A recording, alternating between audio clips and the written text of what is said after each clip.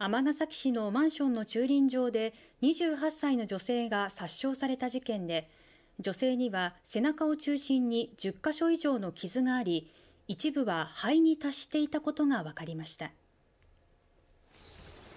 この事件は今月15日尼崎市のマンションの駐輪場でこのマンションに住む医療系事務員の森本彩加さんが背中などを刺され死亡したもので警察はおととい西宮市に住む元夫の森本恭平容疑者を殺人の疑いで逮捕しました。司法解剖の結果さやかさんの死因は失血死で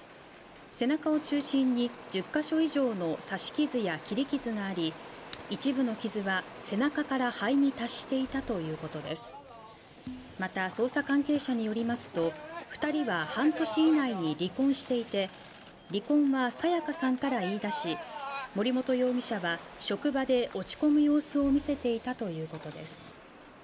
このほか事件当日さやかさんが帰宅する直前に森本容疑者が駐輪場に入る様子が現場の防犯カメラに映っていたということで